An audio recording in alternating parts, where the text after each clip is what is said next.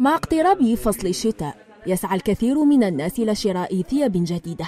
لكن الأسعار المرتفعة لهذه الأخيرة جعل الكثيرين يحولون محلات بيع الألبسة المستعملة أو كما هو معروف بالشيفون إلى وجهتهم المفضلة. عندنا بالسبت عندنا إقبال كبير الله يبارك ما شاء الله. تما نحطوا سلعه من كلش. يجوا الناس على بالهم بالوقت اللي نفتحوا فيه نلقاوهم هنا يستناو يدخلوا يخيروا لهنا نشري فايس حوايج يعجبوني. كاين عفايس نلقاهم لهنا وبرا ما نلقاهمش. رخاص على برا. باش نشوف حوايج. عجبوني حوايج هنايا كاين دي مارك بزاف هايلين. والبخي تاعهم هابط على تاع برا.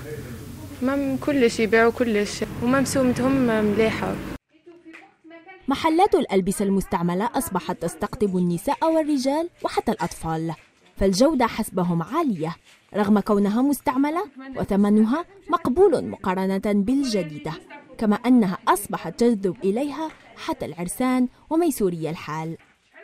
كاين لي غوب بلونش كاين حويطه صديره كاين عرايس يجوا يشرو منا ما الله غالب ما يلحقوش باش يشرو.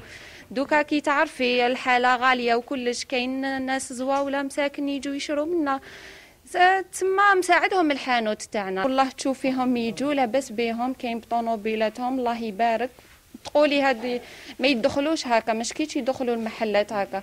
بصح هما يتبعوا حاجة حاجة الأولى يتبعوا لا كاليتي مع غلاء المعيشة وارتفاع الأسعار التي تشهدها الأسواق اليوم وضعف الدخل الفردي أصبحت محلات الشيفون ملاذ الكثيرين لاقتناء بعض الملابس الشتوية.